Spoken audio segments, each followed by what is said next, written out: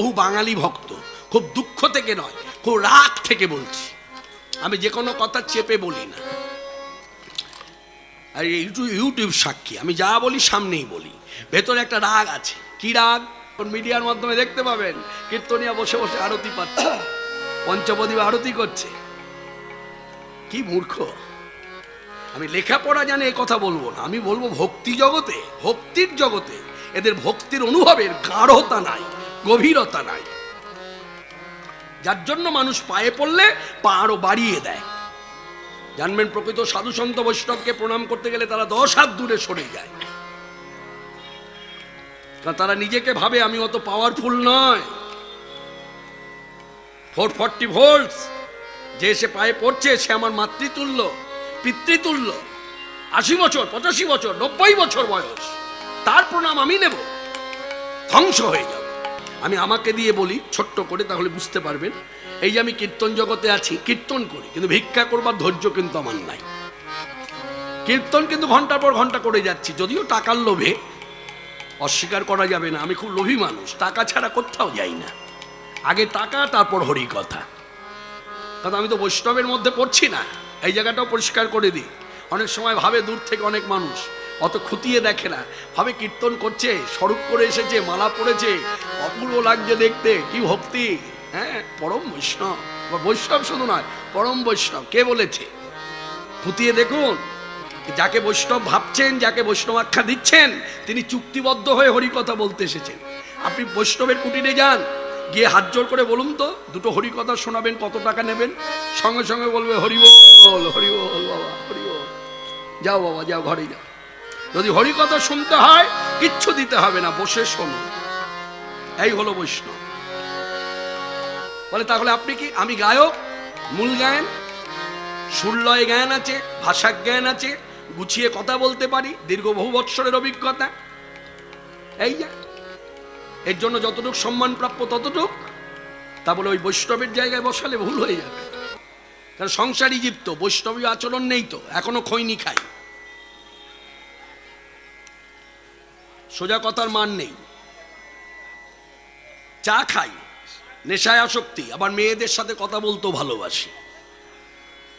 ছেলেরা ফোন করলে যত না সময় দিই, মেয়েরা ফোন করলে তার অধিক সময় দিই। কথা বাড়িয়েই যাই। হ্যাঁ তারপর কি হলো? হ্যাঁ তারপর কি হলো? তা এইরকম জারি জুড়ি আছে। তো যাই হোক, এইসব কথা শিক্ষণীয় কথা।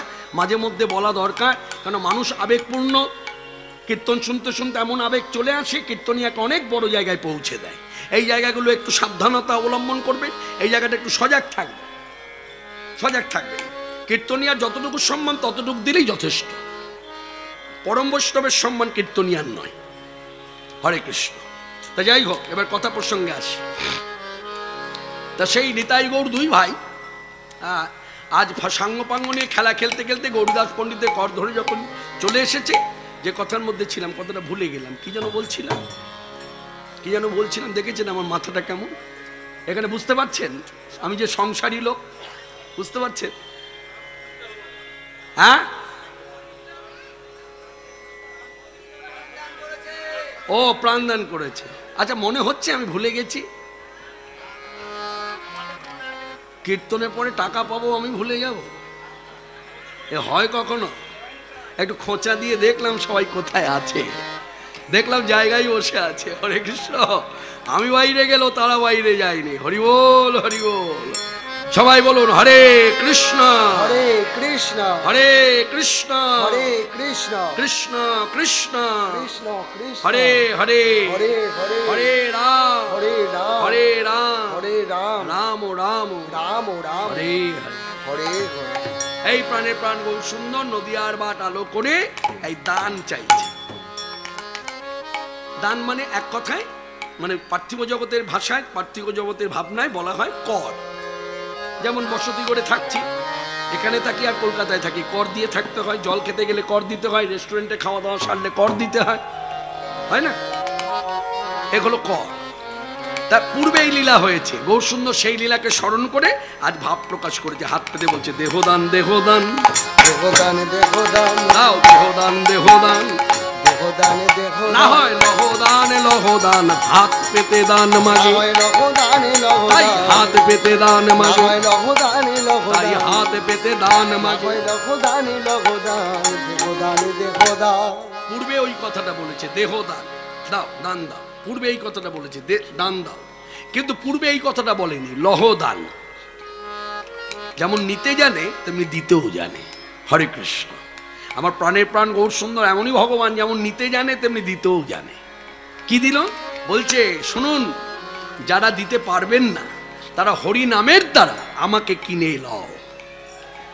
কোন যুগে ভগবানকে কেনা যায়নি। একমাত্র ব্যতিক্রম কলিযুগ, হরি নামের দ্বারা ভগবানকে কিনে নেওয়া যায়।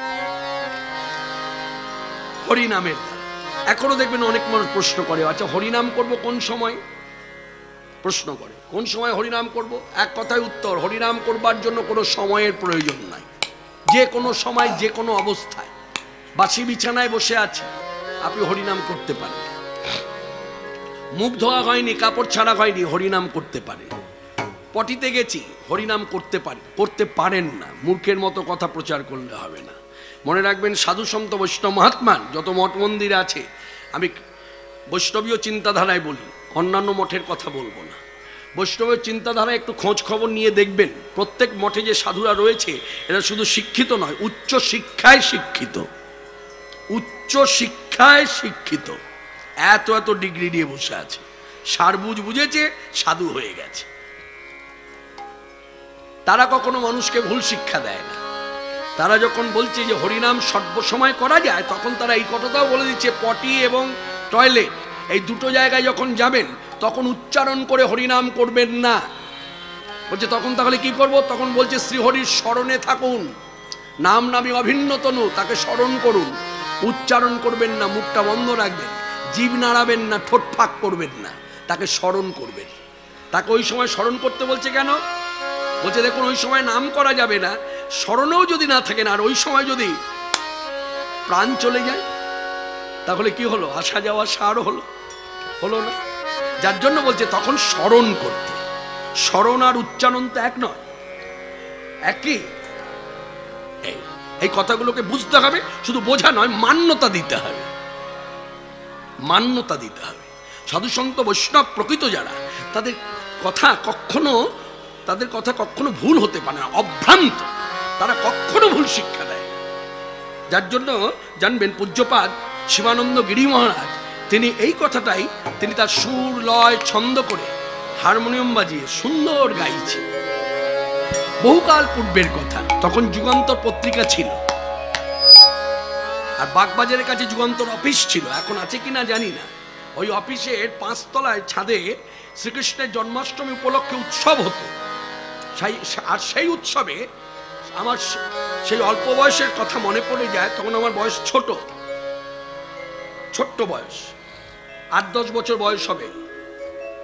উনিশশো উনিশশো চুয়াত্তর কি পঁচাত্তর সাল। সেই বয়সে আমি ওখানে আমন্ত্রণ পাই এবং ভালোবাসার দ্বারা আমাকে সময় দেওয়া হয় এক ঘণ্টা। কেন ছোট্ট বালক, দম কম, এক ঘণ্টা হরি কথা বলব। আমি যখন গেলাম, শিবানন্দ গিরি মহারাজ, তিনি কৃপা করে আমাকে আদর করে, স্নেহ করে বললেন, কৃষ্ণ, আমার কাছে আয়। বস, পাশে বসলাম। তা আমি সেই ব্যক্তি আপনাদের কাছে তুলে ধরছি। এখনও বাঙালি ভক্ত হয়ে প্রশ্ন করে, গৌর কি ভগবান? কি দুর্ভাগ্য? কি দুর্ভাগ্য? বলছে, কেন? না, ওই যে মহাপ্রভু কৃষ্ণ নাম জপ করছে। কৃষ্ণ নাম জপ করে কি? যে দাস, সে জপ করে। তো ভগবান তো কখনো জপ করবে না। ও, এই কারণে আপনার প্রশ্ন জেগেছে, গৌর ভগবান। তাহলে আপনার প্রশ্ন যেমন, উত্তর তেমন। মনে রাখবেন, এই প্রশ্ন পূর্বে ছিল, বর্তমানে আছে, ভবিষ্যতেও থাকবে। প্রশ্ন মুছে যাবে না। এই প্রশ্ন পূর্বে কে করেছিল? পূর্বে করেছিলেন দেবগুরু বৃহস্পতি সমতুল্য সমজ্ঞান নিয়ে যিনি কলিযুগে এসেছিলেন, তার নাম হচ্ছে পণ্ডিত সার্বভৌম ভট্টাচার্য। সেই সার্বভৌম ভট্টাচার্য অধিক জ্ঞান ছিল, কিন্তু ভেতরে প্রশ্ন ছিল, গৌর কি ভগবান? প্রশ্ন করেছিল কার কাছে? অনুগত দাস, গোপীনাথ আচার্যের কাছে। মহাপ্রভুর অনুগত দাস, গৌর সুন্দর। অনুগত দাস, গোপীনাথ আচার্যের কাছে এসে প্রশ্ন করলেন, আপনি বলুন তো, গৌর কি ভগবান? তা যার কাছে প্রশ্ন করেছে সেও শাস্ত্রজ্ঞ? যে প্রশ্ন করছে, সেও শাস্ত্রজ্ঞ। দুই শাস্ত্রজ্ঞ মুখোমুখি। তখন গোপীনাথ আচার্য সুন্দর একটি শ্রীমুখে কথা প্রচার করলেন। বৈষ্ণবতা আছে, যার জন্য খেদ নাই, কথাটা শুনে রাগ হয়নি। তাই বলছে, ঈশ্বরের কৃপালেশ ঈশ্বরের কৃপালেশ হয়তো যাহারে সেই সে ঈশ্বর তত্ত্ব জানিবারে পারে। অর্থাৎ তার কৃপায় তাকে উপলব্ধি করা যায়। তার কৃপা ভিন্ন। কোনো জ্ঞান নাই যে জ্ঞান দিয়ে তাকে জানা যাবে। হরে কৃষ্ণ। তাহলে বৈষ্ণবতা আছে এই রকম উত্তর। তা আমি তো অবৈষ্ণব। আমার উত্তর কেমন হবে? আর গল্পের ন্যায় বলি। বাঘ আর গাধা তর্ক জুড়েছে। বাঘ বলছে আকাশের রং নীল, আর গাধা বলছে না সবুজ। বাঘ যতবার বলছে নীল, গাধা কথা কেটে বলছে সবুজ। এই করতে করতে সময় পার হয়ে গেল, বাঘ তখন বলছে, চুপ করো। আমাদের দুজনের কথা ঠিক না ব্যাঠিক, বিচার হবে। কোথায়? না বনের রাজা হচ্ছে সিংহ। সিংহের কাছে চল। তার কাছে কথাটা পাতি। দেখি তিনি কি বিচার করেন। তা সিংহ কাছে যখন এসেছে, সিংহ তো বসে আছে, ভারী ভারী ব্যক্তি। হ্যাঁ দেখবেন সিংহ নড়াচড়া খুব ধীর গতিতে। হ্যাঁ, ভারী তো বসে আছে। তা সিংহ জিজ্ঞাসা করছে কি ব্যাপার? কি কথা নিয়ে এলেন আমার কাছে?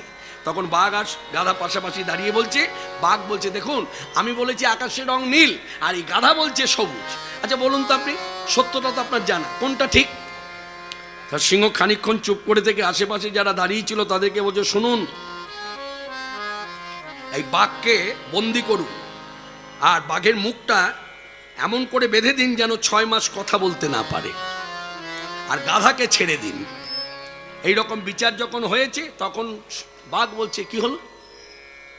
আপনি সত্যটা জানবার পরেও সত্যটা জানেন, জেনেও আমাকে এই রকম শাস্তি দিলেন। শাস্তি পায় কখন? দোষ করলে। আমার দোষটা কি? আমি কি ভুল বলেছি? এটা সত্য। আকাশের রং নীল, সবাই দেখছে। আমি কি দোষ করলাম? যখন বারবার বলছে, আমি কি দোষ করলাম? তখন সিংহ মুখ খুললেন। শুনুন, দোষের কথা যদি জানতে চান, তাহলে কথাটা উপলব্ধি করুন। আমি কি বলছি শুনুন, অনুভব করুন। আপনার দোষ কোথায় জানেন? আপনার প্রথমে ভাবা উচিত, এই বনের মধ্যে আমার পরই আপনার স্থান। কারণ আমি যেমন বলবান, বাঘ তেমনই বলবান। তা আপনি বলবান, শক্তিমান। আপনি এত বলবান হয়ে গাধা দুর্বল আবার আরেকটা গুণ আছে উপরন্ত কি গুণ? দুর্বল, আবার বোকা। আপনি বলবান হয়ে দুর্বল, বোকার সঙ্গে তর্ক জুড়েছেন? এই তর্ক জোড়ার জন্যই আপনার শাস্তি ছয় মাস। কথা বলা বন্দি হয়ে থাকে। এই গল্প থেকে যা বোঝার বুঝিয়ে নি হরে কৃষ্ণ। তা দুটো কথা বলেছি। বৈষ্ণবের শিক্ষাদান একরকম, অবৈষ্ণবের শিক্ষাদান একরকম।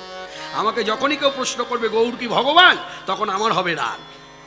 অবৈষ্ণব, রাগ আছে, খেদ আছে, হিংসা আছে, ক্রোধ আছে লালসা আছে। হ্যাঁ? তা আমার উত্তরটা হলো এইরকম। গৌর ভগবান ভগবান ভগবান, এবং শুনে নিন, শাস্ত্রীয় বিচারে কলিযুগে সাক্ষাৎ ভগবান একজনাই সেকে শ্রীকৃষ্ণ চৈতন্য দেব। এতে কোনো সংশয় নয়। সেই ব্রজে রাধা কৃষ্ণ মিলিত তনুগৌ এই নদিয়ায় অবতীর্ণ কলিযুগ করিতে ধন্য, নাম ধরেছেন প্রভু আমার। শ্রীকৃষ্ণ চৈতন্য। তা সেই গো আমার ভাবে নিয়ে দান দেহদানে দেহদান দান চেয়েছে। তা এই ভাবে দেখে এক পার্শ্বদ আরেক পার্শ্বদের মুখ পানে চেয়ে আছে। এক ভক্ত আরেক ভক্তের মুখ পানে চেয়ে আছে।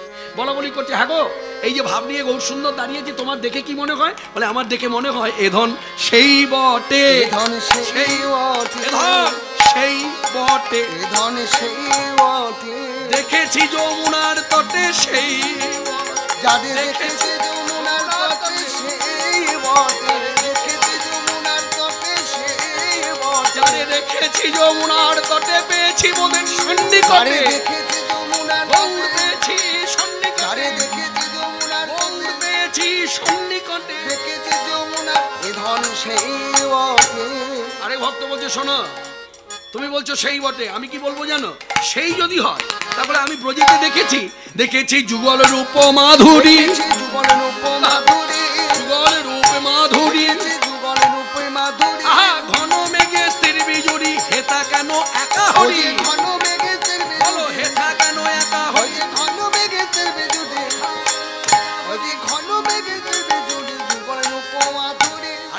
পাশ থেকে বলছে শোনো শোনো ভাই শোনো তোমাদের দুজনের কথা শুনলাম।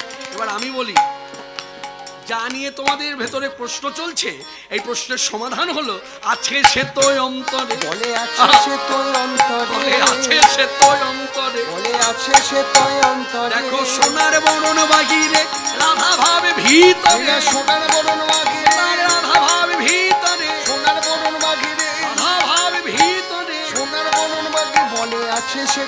তাই বলি দুজনা এসেছে।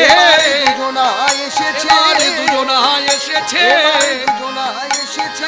আগে হয়েছে। দুজনা এসেছে। আস্বাদন করিছে।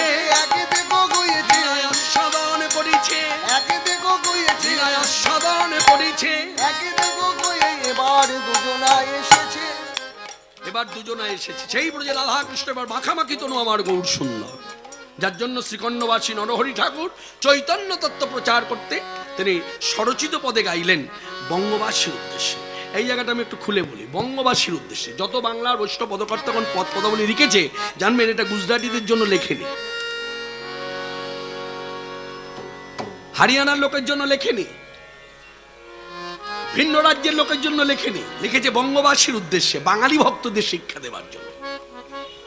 কারণ বৈষ্ণব পদ পদাবলী বাঙালি ভক্তরা যেভাবে ডুবে গেছে, যেভাবে মান্যতা দিয়েছে, অন্য রাজ্যের মানুষ বাঙালি বৈষ্ণব ভক- পদ- পদ পদাবলী যদি মান্যতা দিত, তাহলে সব রাজ্যেই পদাবলী কীর্তনের আয়োজন হতো। ভালো করে বোঝার চেষ্টা করুন কথাটা। আপনি এমন একটা রাজ্য দেখান তো যেখানে পদাবলী কীর্তন হয়। বলবেন কেন ত্রিপুরায় হয়? ত্রিপুরায় বেশিরভাগ কারা আছে? বাঙালিরা আছে। বলছে কটকে হয়? কটকে হয়। গোটা কটক জুড়ে হয়।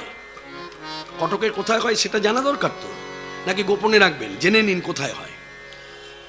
স্বর্গীয় বীর সেনাপতি বীর সেনাপতি সুভাষচন্দ্র বোস যে কলেজে পড়াশোনা করেছে, কলেজের বিপরীতেই বড় বড় জুতার দোকান।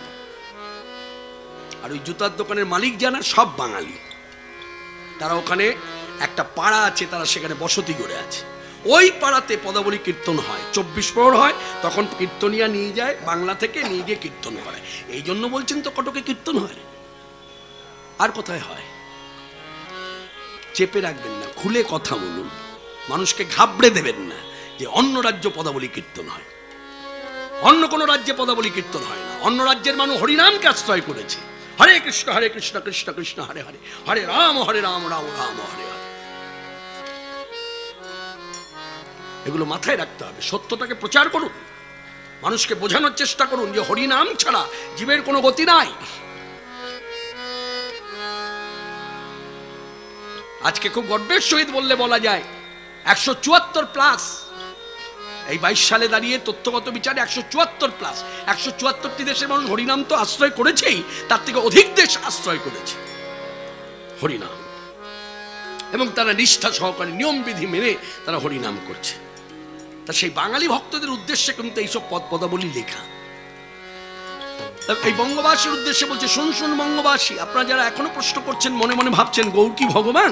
তাদেরকে বলি, রসে তনু ঢরো ঢরো রসে তনু ঢরো ঢরো এই ঢরো ঢরো ভাবটি হচ্ছে আমার রাধা ঠাকুরানী তাই গৌর দেখেতে প্রকাশ পেয়েছে কেন তিনি যে রাধা কৃষ্ণ মিলিত তনু গৌর আর যখন আমার প্রাণে গৌর মৃদু মৃদু হাসে, ওই হাসি দেখে মনে হয় যেন সাক্ষাৎ ব্রজেন্দ্র নন্দন নন্দনের ভাবটি হলো মৃদু মৃদু হাসি, যার জন্য শাস্ত্র তাকে আখ্যা দিয়েছে, মঞ্জু হাস্যতাম। কীরকম হাসে? কীরকম হাসে একটু গানের ছলে বলি, কীরকম হাসে? কীরকম হাসে? আমরা যেমন সাধারণ মানুষ একটা কথা বলি, কথাটা বলবার পরে হাসি, বা আগে হাসি, তারপর কথা বলি। আর আমার গোবিন্দ কেমন? বলছে, লোকে যখন কথা বলে, কথা বলবার পরে হাসে। এই অন্য লোকে কথা বলে, কথা বলবার পরে হাসে। আমার কৃষ্ণ কথা বলে, মৃদু মৃদু হাসে। অন্য লোকে উলধ্বনি উলধ্বনি, হরি হরি এই অন্য লোকে কথা বলে, কথা বলবার পরে হাসে। আমার কৃষ্ণ কথা বলে, মৃদু মৃদু হাসে। আমার কৃষ্ণ কথা, আমার কৃষ্ণ কথা বলে, আমার কৃষ্ণ কথা বলে। মৃদু মৃদু হাসে। তাহলে মৃদু মৃদু হাসি যখন, তখন মনে হচ্ছে সাক্ষাৎ কৃষ্ণ, ব্রজেন্দ্রনন্দ। আবার যখন ঢড় ঢড় ভাব, তখন মেনু মনে হচ্ছে যেন রাধা রানী। তাই বৈষ্ণব পদকর্তা লিখছেন রসে তনু ঢর ঢর আমার আমার গৌর কিশোর বড় তাই এবে নাম শ্রীকৃষ্ণ চৈতন্য উলোধ্বনি হরি হরিব হরি হরিব হরি কৃষ্ণ বদ এবে না এলাম শ্রীকৃষ্ণ চৈতন্য। রসে তনু ঢর ঢর গৌর কিশোর বড় এবে নাম শ্রীকৃষ্ণ চৈতন্য। সেসব নিগুড় কথা কহিতে অন্তরে ব্যথা। ভগত বিনা নাহি জানে অন্য ভগবান শ্রীকৃষ্ণ চৈতন্য। ভগবান শ্রীকৃষ্ণ চৈতন্য। দাপর যুগেতে শ্যাম, কলিতে চৈতন্য নাম। দাপর যুগেতে শ্যাম, কলিতে চৈতন্য নাম। গর্গবাক্য ভাগবতে লিখি। চিতে করি অনুমান শ্যাম হইল গৌরাঙ্গ রাধা কৃষ্ণ লীলা তার সাক্ষী। ভগবান শ্রীকৃষ্ণ চৈতন্য। ভগবান শ্রীকৃষ্ণ চৈতন্য। অন্তরেতে শ্যাম তনু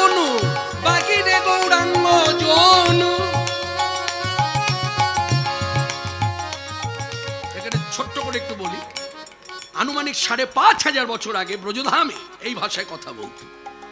কি ভাষা? জনু। জনুমার কথার বাংলা অর্থ যেন। তাই বলছে, যেন দেখে মনে হয় সাক্ষাৎ কৃষ্ণ। অন্তরেতে শ্যাম তনু, বাকিরে গৌরাঙ্গ জনু। অদ্ভুত শ্রী চৈতন্য লীলা। রাই সঙ্গে খেলাইতে, কুঞ্জবনে বিলাসিতে, অনুরাগে গৌর তনু হইলা। ভগবান শ্রীকৃষ্ণ চৈতন্য। ভগবান শ্রীকৃষ্ণ চৈতন্য।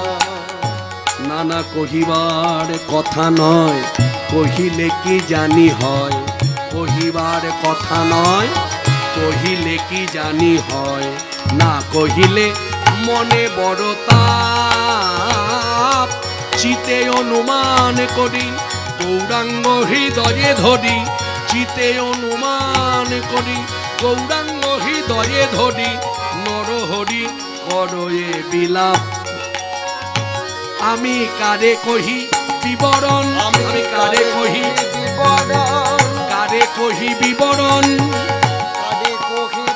এ কথা শুনিবে বা কোন জন না কহিলে ফাটে মন। কথা শুনিবে বা কোন বলো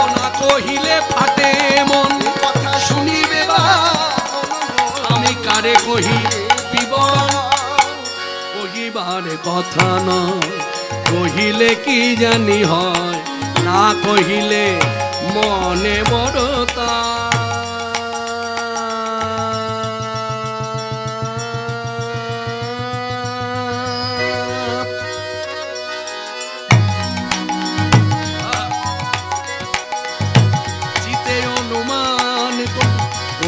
গৌরাঙ্গ হৃদয়ে ধরি নরহরি করয়ে বিলাপ। আমার গৌরব তার সার। গৌরব তার সার। জয় ধরি সবাই মিলে বলুন ভগবান শ্রীকৃষ্ণ চৈতন্য দেব কি গৌরব তার সার। গৌরব তার সার। যত যত অবতার মুক্ত প্রেম করুণা।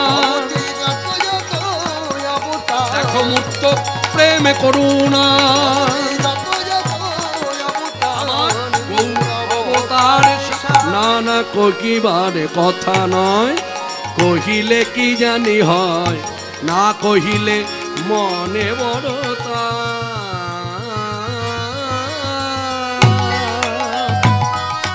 চিতে অনুমান করি, গৌরাঙ্গ হৃদয়ে ধরি, নরহরি করয়ে বিলাপ ঠাকুর নরহরি করয়ে বিলাপ। ভগবান শ্রীকৃষ্ণ চৈতন্য। এই সেই যুগ, যে যুগের ভগবান আরাধ্য ধন জীবের কৃষ্ণ চৈতন্য পাঠ পদ্ম ত্রিভুবন করে যার চরণ বন্ধন শুধু মানুষ পশু, পাখি, কীট, পতঙ্গ, স্থাবর, অস্থাবর, অনন্ত কোটি ব্রহ্মাণ্ডে যত দেব দেবী আছে, সকলেরই আরাধ্য ধন আমার শ্রী চৈতন্য পাঠ। সেই প্রাণের প্রাণ চৈতন্য গোসাই নদিয়া লীলায় আজ সেই ভাব নিয়ে যখন দাঁড়াল এক ভক্ত আরেক ভক্তের মুখ পানে চেয়ে বলছে এ ধন তো সেই ধন আমাদের ব্রজের কৃষ্ণ এবার রাধা কৃষ্ণ মিলিত তনুবৌ তাহলে বলো হরি বল হরি বল। হরি বলে বলো। হরি বল হরি বল। হরি বলে বল। উঠিল আনন্দের হরি বলে হরি বল। উঠিল আনন্দের হরি বলে হরি বল। উঠিল আনন্দের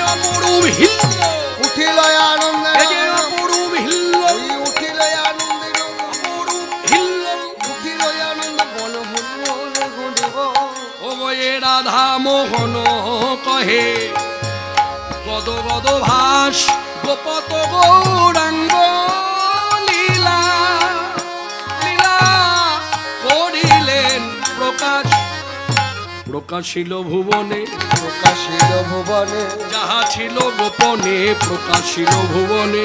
যাহা ছিল এবার কৃপা করে জগজনে। যাহা ছিল জানালো কৃপা করে জগজনে। যাহা ছিল গোপনে। কৃপা করে জগজনে। যাহা ছিল গোপনে প্রকাশিল ভুবনে গোপত গৌরাঙ্গ লীলা করিলেন প্রকাশ।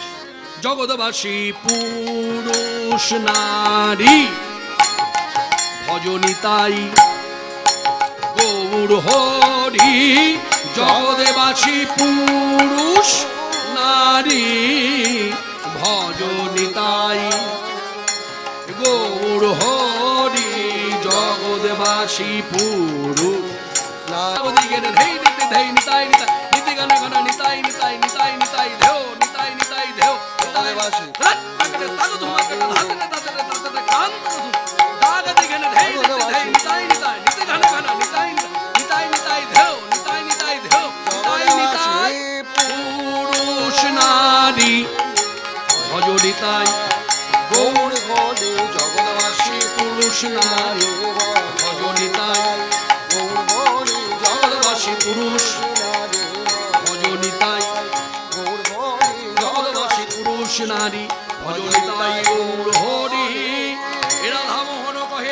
গদ গদ ভাস গোপত গৌরাঙ্গ লীলা করিলেন প্রকাশ। এই গৌর তত্ত্ব তথ্য হৃদে ধরে আজকের সভায় যারা উপস্থিত হয়েছেন ভক্তগণ, ভক্তির অনুভব নিয়ে প্রত্যেকেরই চরণধুলি, বক্তা হয়ে মানসে মাথায় নিলাম। হরিকথা বলার একমাত্র বল। এই বলে বলিয়ান হয়ে আচ্ছাদনের বিষয়বস্তু, ঘোষক হিসাবে ঘোষণার প্রয়োজন নাই। শুরুতে যে কথাগুলো আলোচনা হয়েছে, তার মধ্যে কিন্তু অনেক তিন চারবার শুনেছি, দান দান দান। তার মানে নৈমিত্তিক লীলা, নিত্য লীলার অঙ্গ নয়। নৈমিত্তিক লীলা, কারণবশত লীলা। ভগবান শ্রীকৃষ্ণ ব্রজেতে ছলনা করে দানি বেশে দাঁড়িয়ে কর চেয়েছিল। উদ্দেশ্য তো তা নয়, উদ্দেশ্য রাধাবদন দর্শন। সেই লীলা আমরা যতটুকু সময় পেয়েছি আস্বাদন করব। এবার সরাসরি চলে যাই ব্রজধামে।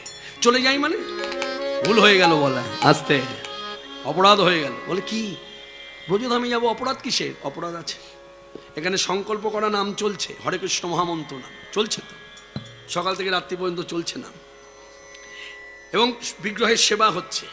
সেই স্থানে যখনই বল, বলা হবে বক্তা যেই হোক, যদি বলি, বৃন্দাবনে চলুন, এটা অপরাধ হয়ে গেল। মানে দোষযুক্ত হয়ে গেল কথাটা। তাহলে কথাটা কি হবে? সিদ্ধান্ত স্বরূপ কথা হবে। আমরা বৃন্দাবনে সকলে বসেই আছি। যেখানে সংকল্প করা নাম, যেখানে বিগ্রহের সেবা, এই তো বৃন্দাবন। তাই বৃন্দাবনে বসে আছি। বৃন্দাবনে বসে বা দাঁড়িয়ে বা শুয়ে আমাদের যা করণীয় তাই করতে হবে। আমরা সবাই মিলে গাইব সেই বৈষ্ণব পদাবলী। গোবিন্দ দাস আনন্দ চিত্তে, প্রফুল্ল চিত্তে গাইলেন। শ্রী রাধা রমন রমণী মন মোহন বৃন্দাবন বন দেবা। শ্রী রাধা রমন রমণী মন মোহন বৃন্দাবন বন দেবা। অভিনব রাস রসিক বড় নাগর নাগরিগণ কৃত সেবা। নাগরিগণ কৃত সেবা। নাগরিগণ কৃত সেবা। শ্রী রাধা রমন রমণী মন মোহন বৃন্দাবন বন দেবা। প্রজপতি দম্পতি হৃদয়ানন্দ নন্দন নম ঘন শ্যাম। নন্দীশ্বর পুর পুরট পটাম্বর রামানুজ গুণধাম রামানুজ গুণধাম রামানুজ গুণধাম শ্রী রাধা রমণী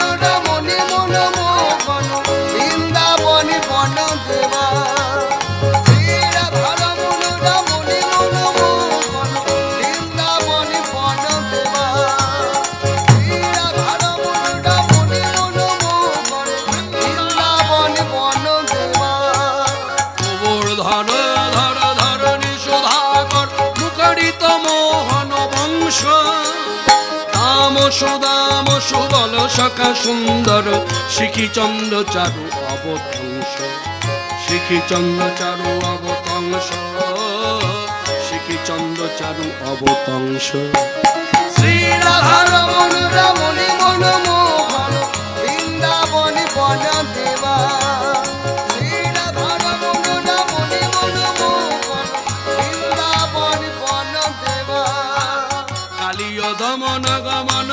জিতি কুঞ্জন কুঞ্জন চিতরতি রঙ্গ।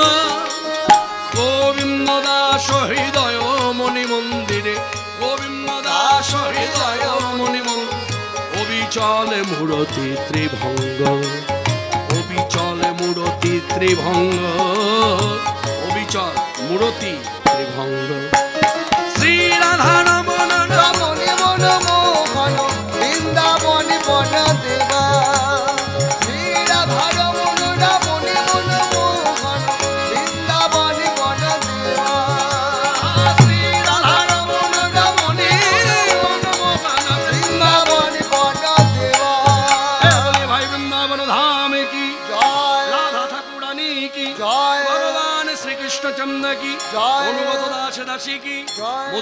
শ্রীধামে বৃন্দাবনে, মধ্যাহ্নকালীন লীলা মধ্য গগনে সূর্য। হয়তো অনেকের ভাবনা আসতে পারে, ভক্তির অনুভব তো। গুরু কৃপা বলে হঠাৎ করে আমি যখন এখানে এসে দাঁড়ালাম, তখন টুক টুক করে বৃষ্টি পড়ছে। আমি চিন্তা করলাম ভক্তির অনুভবে, এই সময় যদি মধ্যাহ্নকালীন সূর্যদেবকে কথা যদি বলে দেওয়া যায়, বৃষ্টি চলে যাবে। দেখুন, তাই হলো, যা ভেবেছি তাই। এখন দেখুন, বৃষ্টি বন্ধ। প্রখর রবিতাপ রবিতাপ দিয়েছে। আর কৃষ্ণ গাই বা চোর সখাদের নিয়ে খেলা করছে। করতে করতে করতে করতে হঠাৎ করে মানে কেউ কিছু বুঝে ওঠার আগেই বলে দিলেন, ঘোষণা করে দিলেন, কি? এই শোন শোন, আমার কাছে আয়। আমি আর খেলা খেলব না। সরাসরি বলেই দিল, খেলা খেলব না। তা কেউ কেউ বলল, কি কারণ কি? বলে, খেলা ভালো লাগে না। তা না লাগারও তো একটা কারণ আছে, সেটা কে বলবে? কার সাহস আছে বলবে? বর্ষিয়ান বলরাম, বলিয়ান বলরাম। সবার মধ্যে বলবান, আবার সবার মধ্যে কি? বর্ষিয়ান। এই এলো, কাছে এসে বলছে, ভাই, দাদা, একটা কথা বলব? তুই তো আমাদের খেলার মধ্যমণি। কত আনন্দ বেড়েছিল, সেই আনন্দটা সব নষ্ট হয়ে গেল। তোর একটি কথায় আচ্ছা ভাই প্রশ্ন জাগে। খেলা কেন বন্ধ করলি? দাদা আমি ক্লান্ত আমি শ্লান্ত। কি বললি? পরিশ্রম হয়েছে? তাই ক্লান্ত হয়ে পড়েছিস? মনে মনে ভাবছে যে ভাই কানাই আমার কালিওনাগের মাথায় এত দাপাদাপি করে ক্লান্ত হলো না। যে ভাই কানাই আমার সাত দিন একভাবে ওই অত বড় পাহাড়খানি ধরে রাখল তখন ক্লান্ত হলো না। আর এই নিত্য খেলা খেলতে খেলতে ক্লান্ত? হুম। এটা মনের সত্য কথা নয় মনের মধ্যে গোপন আছে এই কথা। কিন্তু আমি তো দাদা প্রশ্ন করে করে ওকে লজ্জা দেবো না। ওকে লজ্জা দেওয়া মানে নিজেকে লজ্জা পাওয়া। দেখেছেন? দাদা হলেই হবে না দাদার অনুভবের গভীরতা চাই। এগুলো শিক্ষা হ্যাঁ? এই জন্যই তো কৃষ্ণের এত গর্ব দাদাকে নিয়ে। আমার দাদার মতো দাদা কারে ভাই আছে? আমার দাদার মতো দাদা কারে ভাই এ কথা গৌরবে করে গৌরবে করে গৌরবে করে গৌরবে করে। বলতে পারি এই বৃন্দাবন মাঝে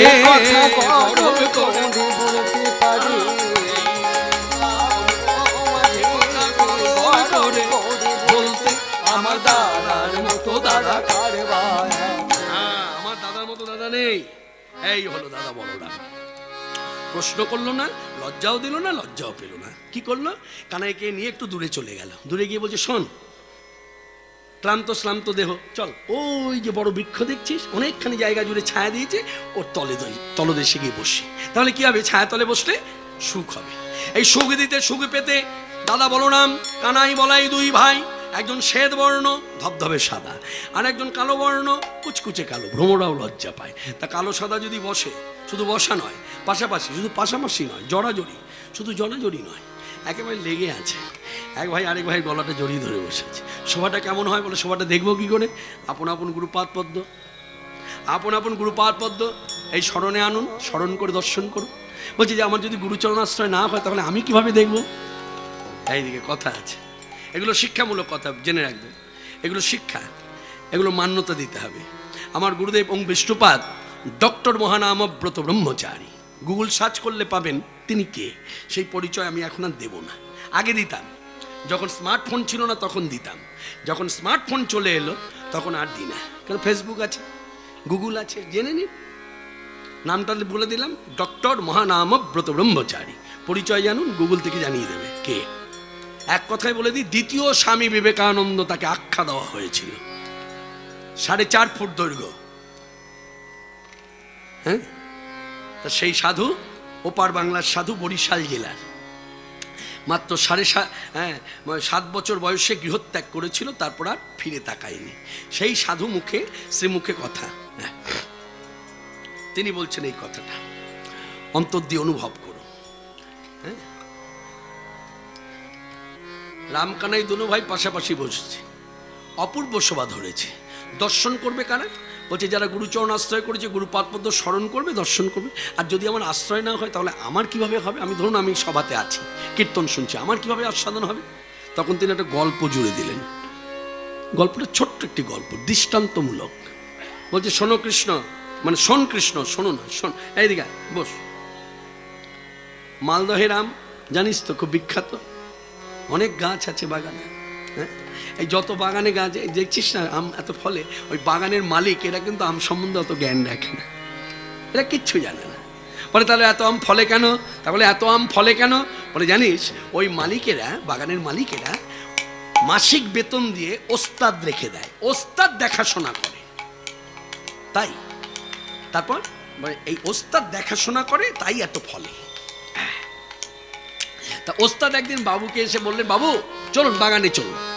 আজকে আম পারব পেরে ঝুড়িতে ভরে কলকাতা পাঠিয়ে দেবো। এই চল। তা বাবু এসেছে, বসে আছে।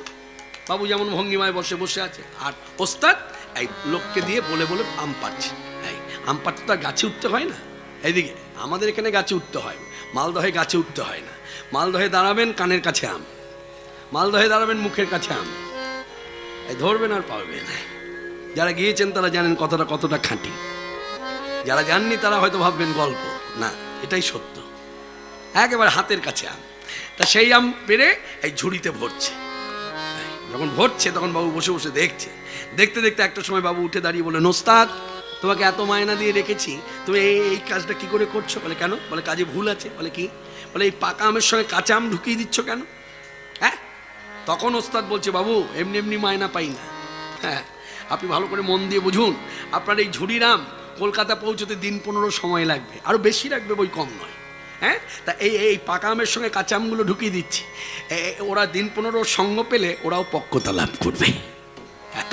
ঠিক তদ্রুপ, আজকের সভাতে যারা এখনও পর্যন্ত দীক্ষা হয়নি, যারা এই আশেপাশে বসে আছে, তাদের একটু স্পর্শ করে থাকুন। স্পর্শ করলে তারা, যারা দীক্ষা, তারা পাকা, যারা দীক্ষা পায়নি, তারা কাঁচা পক্ক ছোট্ট কথা, গভীরতা আছে। এইভাবে লীলার সাধন। যার জন্য বলছে, সাধু সঙ্গ সাধু সঙ্গ সর্ব শাস্ত্রে কয় লবমাত্র সাধু সঙ্গ, কৃষ্ণ লভ্য হয়। ভক্তর সঙ্গে একটা মহিমা আছে, এই স্থানের একটা মহিমা আছে। তা আপনারা আস্বাদন করুন। রামকানাই দোনো ভাই জড়াজড়ি করে বসেছে, শোভা দেখছে কে? বাংলার অবশ্য পদকর্তা গোবিন্দ দাস আনন্দে গাইলেন, সকলকে শোনালেন, যা আপনার শোনা, আমার শোনা, আমার বলা, আপনারও বলা, একই বলা। বড় জো বালক সঙ্গে খেলা জিয়া নানা রঙ্গে বড় জো সঙ্গে খেলা দেখো ছায়াতে বসিল দোনো ভাই। রাম কানাই ছায়াতে বসিল।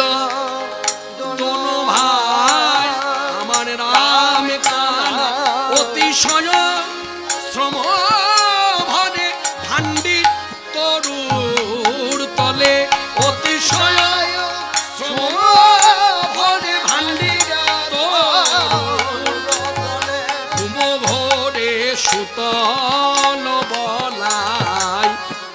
ভাইয়ের মুখ চাই, বলাই দাদা। দাদা ঘুমাওলো বলাই দাদা। ভাইয়ের সুখ মনে গনিল বলাই দাদা ঘুমাওলো ভাইয়ের সুখ সুখ মনে গনিল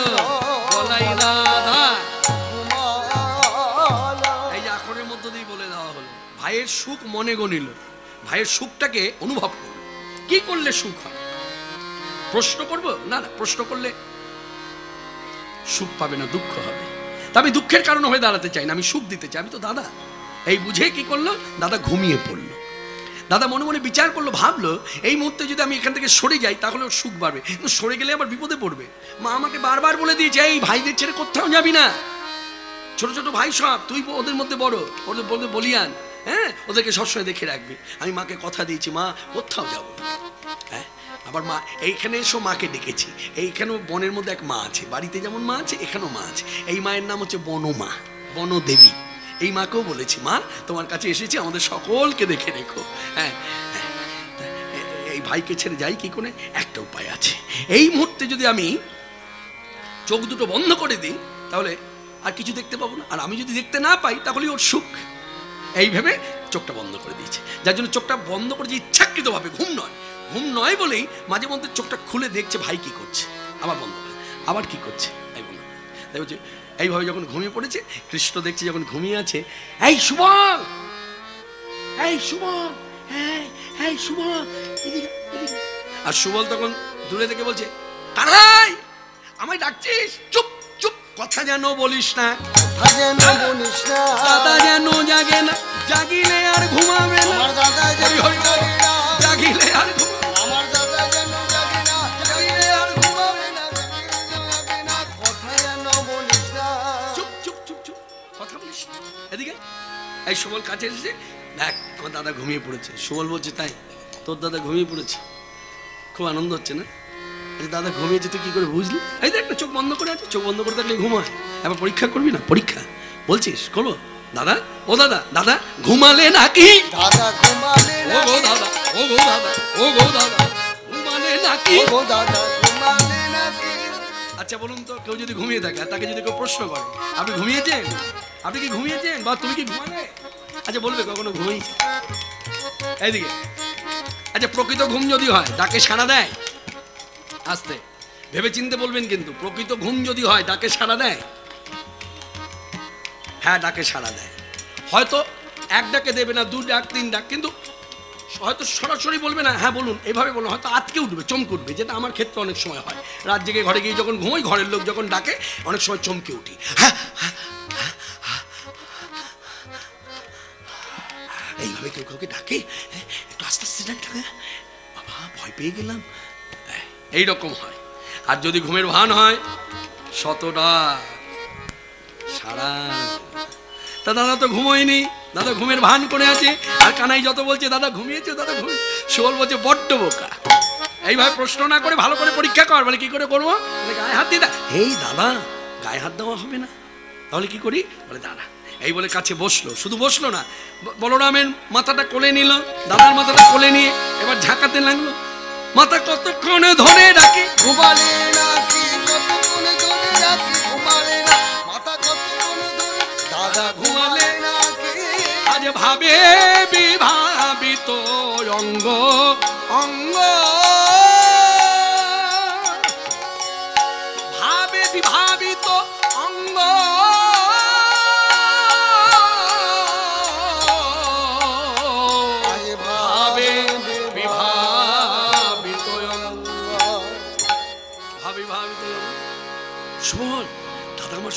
ঘুমিয়েছে এত টাকাটা কি করলাম? সারা মেলেনি। সত্যি ঘুমিয়েছে খুব ভালো হয়েছে। দাদা সুবল দাদা ঘুমিয়ে থাক, চল যাই। নিষ্ঠুর হ্যাঁ? কিছুক্ষণ আগে বললি বড্ড বোকা, এখন আবার আখ্যা দিচ্ছিস নিষ্ঠুর? কেন, কি নিষ্ঠুরতা করলাম? দাদা ঘুমিয়ে রয়েছে, দাদাকে ফেলে চলে যাবি যদি দাদা কোনো বিপদ হয়? কোনো বিপদ হবে না। কার উপরে ভরসা তোর? কেন মা আছে বনে? দেখিস না? দাদা প্রতিদিন আমাদের নিয়ে এসে বনের মাকে বলে না মা আমাদের সকলকে দেখে রেখো। আমিও তেমনি দাদা ঘুমিয়ে রয়েছে ঘুমিয়ে থাক। আমি আমার মতো চলে যাব। মা দেখবে মাকে বলব মা দেখো মা দেখো মা দেখো মা দেখো মা। তোমার ভরসায় রাখলাম মা কিছু তো নাই অজানা। তোমার ভরসা রাখলাম কিছু তো নাই অজানা। মা তোমার ভরসা রাখলাম মা দেখো মা দেখো বলছে মা তোমার কিছু তো নাই অজানা। দাদা কেন ঘুমিয়েছে সেটা তোমার জানা। আর আমি কেন খেলা বন্ধ করেছি সেটাও তোমার জানা। হ্যাঁ দাদার ঘুম যেন না ভাঙে আর আমার ইচ্ছাও যেন পূর্ণ হয়। এই বলে মাকে নিবেদন করে আ নহি ছল করি, সুবলের করে ধরি।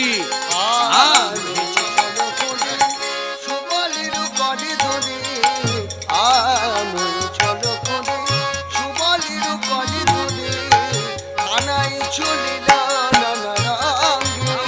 কানাই কানাই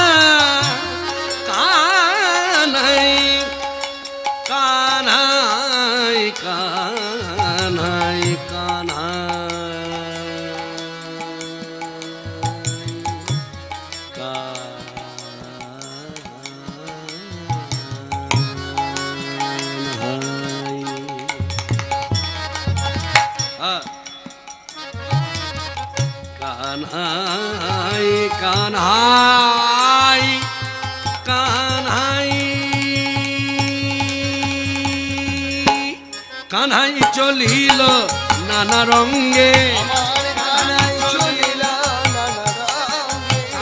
কানহাই এই দেখো বলে নেচে নেচে নেচে যায়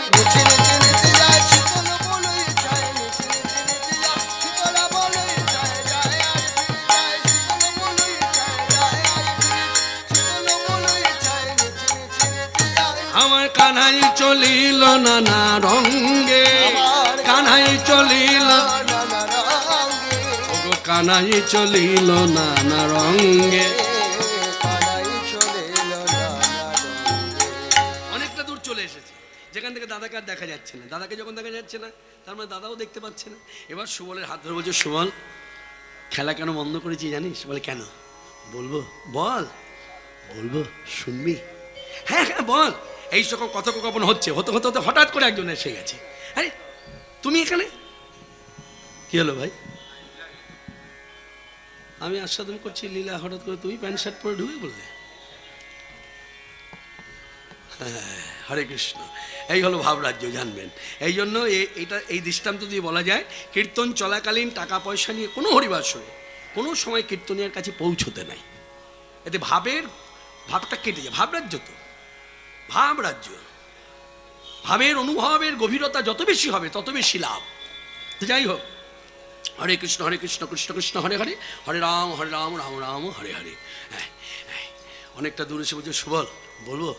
মনের কথা বলব? শুনবি? আরে শোনার জন্যই তো এসে বল বল আমি তোর কথা শুনব তো কার কথা শুনব তুই বল।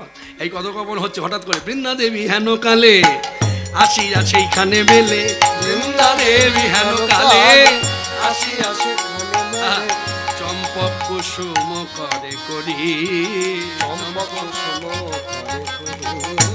চম্পক কুসুম যেমন, চম্পক কুসুম যেমন, শ্রীরাধার মাধুরী তেমন।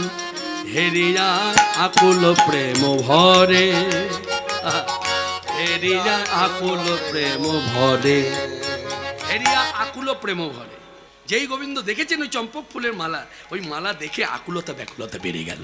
রাধা বদন আমায় দর্শন করতেই হবে। এতক্ষণ ছিল করব, এখন হর্ষই যোগ করে দিল, করতেই হবে। এই মালা দেখে বলছে, বৃন্দা হ্যাঁ? কি মনে করেই বনে এলে? এই শোনো, তোমার কথাবার্তা ঠিক করো। কি মনে করে আমার বনে এলাম মানে? এই বৃন্দাবনে তোমারও জন্ম আমারও জন্ম। তুমি জানো নিত্য আমার একটা স্বভাব আছে নিত্য বৃন্দ এই বন পরিক্রমা করি আজও করছিলাম। করতে করতে হঠাৎ করে তোমারও জন্ম আমারও জন্ম তার মানে পরিচিত মুখ সৌজন্যমূলক একটু দাঁড়িয়ে কথা বলা আলাপ করা এই যা দাঁড়িয়ে পড়লাম। এখন আমার প্রশ্ন করছ কেন এলাম? কি কারণে এলাম? বৃন্দা আমি জানি সবই বুঝতে পারছি। একটা কথা বলব? কি কথা?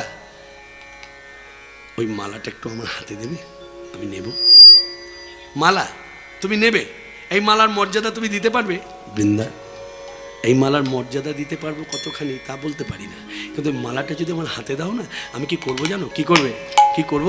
আমি বুকে ধরে রাখব। আমি বুকে ধরে রাগব আর এই নয়ন যুগল জলে ভাসাবো। মুখে রাধা নাম জপ করিব। আমি নয়ন যুগল জলে ভাস রাধা নাম জপ করিব। আমি নয়ন যুগল জলে বুকে ধরে। এখানে একটি শিক্ষামূলক কথা এই আখরের মধ্য দিয়ে হয়ে গেল। বুকে ধরে রাখব রাধা নাম জপ করিব আর নয়ন যুগল জলে ভাসাবো। দেখবেন যারা জপ ধ্যান করে তাদেরকে জপ ধ্যান করতে বসলে তার সূর্যন্ত্র বাজে না। এইদিকে কথাটা একটু ভেঙে বলে দিই তাহলে বুঝতে পারবেন।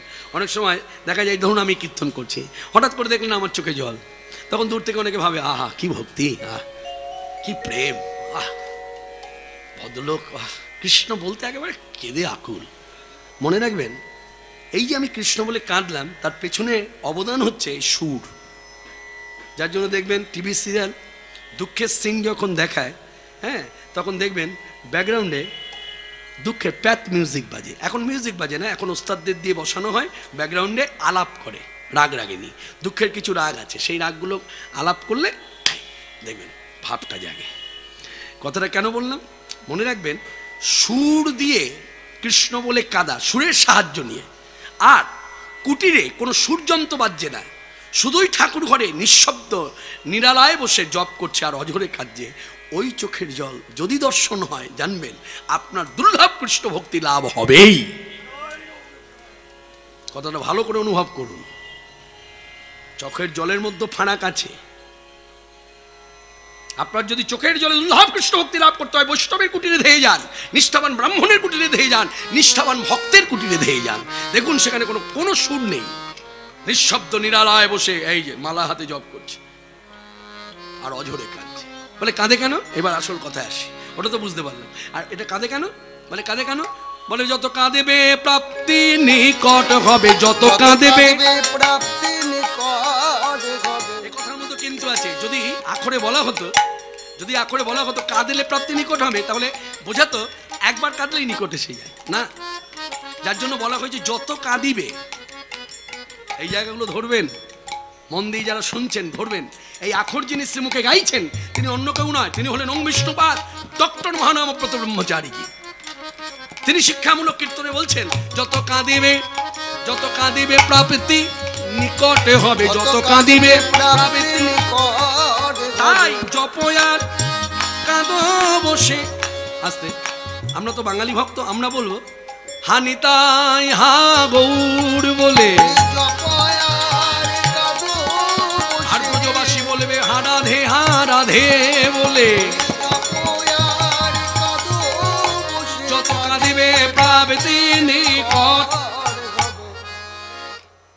গোবিন্দ যেই বলা তখন বলছে এই মালাটা যেই মালা দিয়েছে হ্যাঁ, যা বলা তাই মালা বুকে জড়িয়ে ধরছে হাউ হাউ করে কাঁদছে একবার আদু একবার মাথায় নিচ্ছে কি করবে পাগল হয়ে গেছে। তা মালাটা খানিক্ষণ এইভাবে করার পরে বৃন্দাদি বলছে মালা পেয়ে খুব সুখ পেলে বুঝি? বলে সুখ মানে খুব সুখ পেয়েছি। শোনো তুমি যেমন আমাদের এই চম্পক ফুলের মালা পেয়ে সুখ পেয়েছ? এই মালা আমি তোমাকে বলছি, তুমি গলায় পরিয়ে দেবো আমি। আমি গলায় পরিয়ে দেবো তোমার। তুমি খানিকক্ষণ গলায় রাখবে। গলায় রাখলে কি হবে? প্রসাদী হবে। ওই প্রসাদী মালা আমি তোমার কাছে ভিক্ষা করব। ওই প্রসাদী মালা তুমি আমায় দেবে। আর আমি কি করব জানো? বলে কি? কি করবে? বলে শোনো, তুমি যেমন এই মালা পেয়ে সুখ পেয়েছ, তোমার প্রসাদী দেব করা মালা। ওই মালা নিয়ে যখন আমার রায়ধনির কাছে পৌঁছবো রায়ধরি ওই মালা হাতে নিয়ে তোমার থেকে অধিক সুখ পাবে। কেন জানো? কেন ওই মালা যখনই প্রসাদী হবে, ওই মালায় যে ফুলের যে গন্ধ, চাপা ফুলের তো একটা গন্ধ আছে, সেই গন্ধটা উধাও হয়ে যাবে। তাহলে ওই ফুলের মধ্যে কি গন্ধ যুক্ত হবে? না তোমার ওই দেহের অঙ্গের সঙ্গে মিশে গিয়ে তোমার অঙ্গগন্ধ মিশে যাবে? তাই ওই মালা যখন ধ্বনি পাবে সে ওই অঙ্গগন্ধ হা কৃষ্ণ হা কৃষ্ণ। সে যে অঙ্গগন্ধ বড় ভালোবাসে অঙ্গগন্ধ কৃষ্ণ অঙ্গগন্ধ বড় ভালোবাসে। কৃষ্ণ অঙ্গ গন্ধ বড় ভালো তাই প্রসাদী মালা দাও। আমার হাতে আমি পড়াবো রাই ধনির গলে। প্রসাদে মালা দাও আমার আমি কাছে। পড়াবো রাই ধনির গলে। প্রসাদে মালা দাও আমার কৃষ্ণ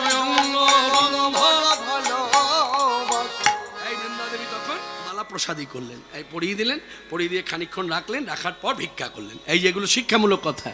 আমরা অনেক সময় ভাগবত পাঠ শুনতে গিয়ে পাঠক হ্যাঁ তিনি বসে পাঠ করছেন, তার গলার মালাটা আমরা ভিক্ষা না করি, কি করি? যেই কাছাকাছি এলো মালাটা, গলা থেকে থাবা দিয়ে নিয়ে নিলাম। না, এই পথে এই নিয়ম নয়, এই পথে হচ্ছে ভিক্ষা করতে হবে। যদি মেয়ে মানুষ হই আঁচল পেতে ভিক্ষা করতে হবে, যদি ছেলে হই হাত পেতে ভিক্ষা করতে হবে দিন, যদি ভাগ্যে জোটে তো জুটলো, যদি না জোটে, তাহলে জানতে হবে এখনও আমায় অপেক্ষা করে থাকতে হরে কৃষ্ণ। এইসব কথা ভেঙে ভেঙে প্রচার খুব কম। এখন ইউটিউব সার্চ করলেই পারবেন, কীর্তন পাবেন, অনেক কীর্তন আছে। ওই কীর্তনে সব আজুগুবি কথা। উনি দেখবেন আজুগুবি কথা দিয়ে কীর্তন নয়। আজুগুবি কীর্তনের কথা নয়, কীর্তনে আখর আখর শুনলেই ব্যাখ্যারও প্রয়োজন হয় না। আখরেই সব ভাবার্থ প্রকাশ পেয়ে যায়। এই যে কত সুন্দর একটি আখর হ্যাঁ? এই প্রসাদী মালা করে দাও আমার হাতে। হাতে দিলে কি করবে? আমি পরামোড়াই ধনির গলে। সে যে কৃষ্ণ অঙ্গগন্ধ বড় ভালোবাসে। কত সুন্দর শিক্ষামূলক কথা। এই অঙ্গগন্ধ জানবেন, যারা নিষ্ঠাবান ভক্ত, যারা সাধন ভজন করবার আগ্রহ আছে। ভজনের আগ্রহ না থাকলে তো ভজন হয় না। বাড়ি করবার আগ্রহ আছে বলেই দোতলা বাড়ি হয়েছে। এই আগ্রহ যদি না বাড়তো, লালসা যদি না বাড়তো, কামনা যদি না বাড়তো, আমার এই বাড়িটা দোতলা হতো না। হরে কৃষ্ণ। আমার দু চাকা গাড়ি ছিল, চার চাকা গাড়ি হবে, বাসনা বেড়েছে বলেই বার গাড়িটা হয়েছে। তেমনি ভজন সাধনের আগ্রহ যত বাড়বে, তত ভজন সাধন উন্নতি হবে। সাধন ভজনে আগ্রহ চাই। হরে কৃষ্ণ। আজকে যদি একশো, আজকে যদি ষোলো মালা হয়, আরও বাড়িয়ে দেবো, আরও ষোলো মালা। পঁচিশ হাজার জব করেছি, আরও পঁচিশ হাজার বাড়িয়ে দেবো। ষোলো মালায় কি কত জব হয়? পঁচিশ হাজার। আর চার ষোলো যোগ করলে কত হলো? এইদিকে চার ষোলো মালা যদি হয় চারটে ষোলো পাক কত হলো? এক লক্ষ। হরে কৃষ্ণ। তা যাই হোক, আমি কীর্তনের মধ্যে দিয়ে এটাই প্রচার করব। আমি প্রচারকের ভূমিকায় দাঁড়িয়ে বলব, আপনি যখনই গুরুচরণ আশ্রয় করেছেন বা গুরুচরণ আশ্রয় করেননি, কিছু হোক চাই না হোক, অন্তত এই কলিযুগে হরিনাম আশ্রয় করে থাকুন। ব্যাস, তাহলেই হবে। বলছি, বলে দিচ্ছেন? বলে হ্যাঁ একদম। গোদা বাংলায় বলে দিলাম। হরিনাম আশ্রয় করে থাকুন। ঠাকুর ঘরে যাবারও প্রয়োজন নাই। পূজা পাঠেরও প্রয়োজন নাই। যজ্ঞাদি করবেনও প্রয়োজন নাই। শুধু হরিনাম করুন, হরিনাম শুনুন। ব্যাস, তাহলেই হবে। কর্মময় জীবনে হরিনাম করুন। ওই যে কলিযুগ, অন্নগত প্রাণ, কর্মময় জীবন। তারপর তৃতীয় কথাটা বলা হয়নি। তৃতীয় কথাটা মনে পড়ে গেল। বলে দিই তাহলে অনেকে বলবে যে প্রথম যে শুরু করেছিলেন কথাটা মাঝপথে থেকে গেছে। পূর্ণ করুন। অন্নগত প্রাণ, কর্মময় জীবন, জনিগত মন। এই হলো কলিযুগ। এটা ভাববেন অন্তর দিয়ে। হাজার চেষ্টা করেও আপনি সঠিক পথে যেতে পারবেন না। আপনাকে ঠিক ঘুরিয়ে ফিরিয়ে এনে ওই অন্ধকার পথে নিয়ে যাবে। যার জন্য মহাপ্রভু কলিযুগে প্রতিটি জীবের কথা ভেবে তিনি কি করলেন? তিনি হরিনাম সংকীর্তন করলেন প্রচার। যে তোমরা প্রাণ ভরে হরিনাম শ্রবণ করো, প্রাণ ভরে হরিনাম করো। এই হরিনাম উচ্চস্বরে করলেই একমাত্র এই সেই যুগ, যে যুগে কৃষ্ণ চরণ প্রাপ্তি। হবেই সিদ্ধান্ত শ্রীমৎ ভাগবত পরমংশ চূড়াবনী ছিল সুকমণি, ব্যাসাসনে বসে বললেন, কলিযুগ সর্বদোষের আগো কলিযুগের অনেক দোষ। এই কলিযুগে মানুষ যদি উচ্চস্বরে শ্রীকৃষ্ণ কীর্তন করতে পারে, তাহলে তার সর্ববন্ধন মুক্ত হবে। সর্ববন্ধন মুক্ত হয়ে সে শ্রীকৃষ্ণ পাদ পদ্ম লাভ এই কথা যেমন হলো, আজকে আপনারা জানেন যদি খুব একটা ভুল না হয়, অনুমান করে বলা যায় একশো একষট্টিতম বোধ হয় একশো একষট্টি আনুমানিক একশো বাষট্টি এরকম হবে আমাদের ভক্ত কবি রবীন্দ্রনাথ ঠাকুরের আবির্ভাব। মানে তিনি এসেছিলেন। হ্যাঁ? একশো বাষট্টি হ্যাঁ ঠিকই। তার জন্য আনুমানিক বলেছি। এখন একটা শিক্ষামূলক কথা। আপনার কোনো যদি মনের মধ্যে কোনো কিন্তু জেগে থাকে, তখন ভাষাটা ব্যবহার করবেন আনুমানিক। তাহলে যারা দোষ ধরার জন্য বসে আছে, তারা কখনো দোষ ধরতে পারবে না। মানে বলে দিয়েছে আনুমানিক। অনুমান। একশো একষট্টি কি, একশো বাষট্টি। একশো বাষট্টিতম আমাদের কবিগুরু, ভক্ত কবি, আমার গুরুদেব আখ্যা দিয়েছিল ভক্ত কবি রবীন্দ্রনাথ ঠাকুরের এই জন্মতিথি উপলক্ষে আজকে সভাতে দাঁড়িয়ে আমি বৈষ্ণবীয় চিন্তাধারায়, কথাটা ভালো করে লক্ষ্য করুন কি বলতে চাইছি। বৈষ্ণবীয় চিন্তাধারায় আমি তার বাগানের ফুল দিয়ে তাকে শ্রদ্ধা জানাব না। তার বাগানের ফুল মানে হচ্ছে তার লিখিত গান, তার লিখিত কবিতা, তার লিখিত কথা ইত্যাদি। অর্থাৎ তার বাগানের ফুল দিয়ে তাকে শ্রদ্ধা জানাব না। আমার নিজের বাগানে একটা ফুল আছে। সেই ফুল হচ্ছে হরিনাম। অতএব বৈষ্ণবীয় চিন্তাধারায় যত দিকপাল সে মানে কি বলব, ভারতীয় সৈনিক বলুন, আমাদের মা লতা চলে গেলেন, তখন আমি এই কথা বলেছি। আজকে কবিগুরুর আবির্ভাবও আমি এই কথাটাই বলব। হ্যাঁ তাকে শ্রদ্ধা জানাতে আমার একমাত্র অবলম্বন, সবাই মিলে বলুন হরে কৃষ্ণ হরে কৃষ্ণ হরে কৃষ্ণ হরে কৃষ্ণ কৃষ্ণ কৃষ্ণ কৃষ্ণ হরে হরে হরে হরে হরে রাম হরে রাম হরে রাম হরে রাম রাম রাম রাম রাম হরে হরে। হরে হরে। এই নামের মধ্য দিয়ে তাকে শ্রদ্ধা জানানো। দেখুন ভাব নিয়ে ঠাকুর আমার হাসছে। মানে কবিগুরু রবীন্দ্রনাথ ঠাকুর হাসছে। খুব সুখ পেয়েছে। নাম যে বড় ভালোবাসে। কেন যে যুগে তিনি জন্মেছেন যুগটাই তো কলিযুগ। হরে কৃষ্ণ। নাম যে বড় ভালোবাসে। এমন একটি মানুষ নাই কলিযুগে যে নাম ভালোবাসে না। এমন মানুষ আছে যে পদাবলী কীর্তন ভালোবাসে না, ভাগবত পাঠ ভালোবাসে না, গীতা পাঠ ভালোবাসে না, রামায়ণ মহাভারত ভালোবাসে না, কিন্তু হরিনাম করে। আমি বারবার জোর দিচ্ছি এই কথার উপরে। ইউটিউব চ্যানেল বসে গেছে তিনটে, ক্যামেরা দেখতে পাচ্ছি। আমি জানি না আপনারা কোথা থেকে এসেছেন। তো যাই হোক, এই চ্যানেলের মাধ্যমে অনেক মিডিয়া, ছোট্ট মিডিয়া এখন দূর দিগন্তে কথা পৌঁছে যায়। আমি বারবার এই কীর্তন প্রচারকের ভূমিকায় দাঁড়িয়ে চুক্তিবদ্ধ হয়ে আমি একটা কথাই বলব, দিনমতে কিছু হোক চাই না হোক, হরিনাম করুন। ব্যাস, কৃষ্ণ প্রাপ্তি। লীলা সাধনে, এই, প্রসাদী মালা নিয়ে গিয়ে রায়ধনী গলায় পরিয়ে দিলেন। এদিকে রাধানির আকুলতা বেড়ে গেল কৃষ্ণ দর্শনে, এদিকে কৃষ্ণেরও বেড়ে গেছে, আরও দ্বিগুণ দ্বিগুণ দ্বিগুণ বেড়ে গেছে। সুবলের হাত ধরে বলছে, সুবল, বৃন্দা চলে গেল। হ্যাঁ এবার একটা কথা বলি, খেলা কেন বন্ধ করেছি জানি? বলে, খেলা, কেন? বলব। হ্যাঁ বল। এনে দেখা মোরে রাধা বদন। হ্যাঁ? এই অসময়ে প্রত্যেক বাড়িতে গৃহবধূ হ্যাঁ কর্মেরত। না না না, পরিবার আছে, এই কথাটা চিন্তা কর। ওই পরিবার রেখে কি করে এখন আসবে দর্শন দিতে? আমি কোনো কথা শুনব না, শুভ। আমি যখন তোর কাছে মনের কথা খুলে বলেছি, মনের কথা বুঝে তোকে কাজটা করতেই হবে। এনে দেখা মোরে রাধা বদন, করা মোরে দর্শন কোথা পাবো কমলিনী চুপ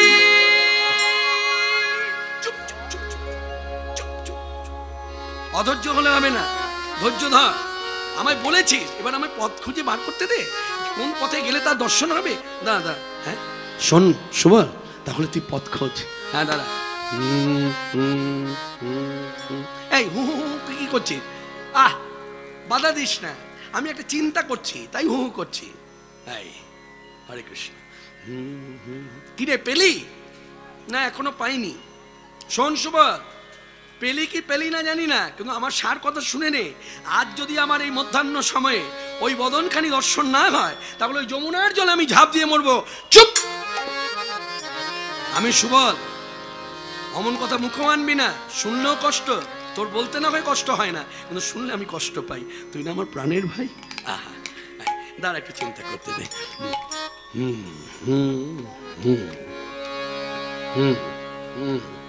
পেলি? হ্যাঁ পেয়েছি। পেয়েছিস? কো- কি করলে হবে? বলব। কথা মান্যতা দিবি তো? হ্যাঁ নিশ্চয়ই, বল না। রাধা মদন দর্শন হবে, মান্যতা দেবো না? দানঘাট রাজপথে, কপট দানির ছলে, দানঘাট রাজপথ, কপট দানির ছলে।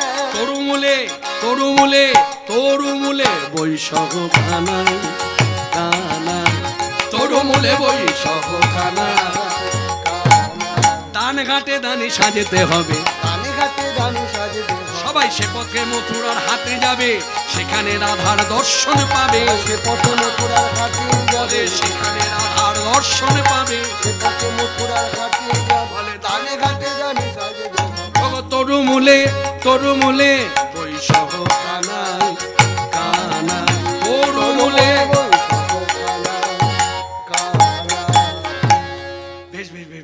আচ্ছা ভাই দান ঘাট সাজাতে গেলে কি করতে হবে? শোনো, মন দিয়ে শোনো। ধান ঘাট সাজাতে গেলে দুটি মঙ্গল ঘট বসাতে হবে, আর দুপাশে দুটো কলা গাছ বসাতে হবে, আর ওই ঘটের উপরে আম্র পল্লব দিতে হবে, ঘটের ভেতরে একটু জল থাকবে, আর সিঁদুরের প্রয়োজন আছে কারণ মাঙ্গলিক চিহ্ন আঁকতে হবে।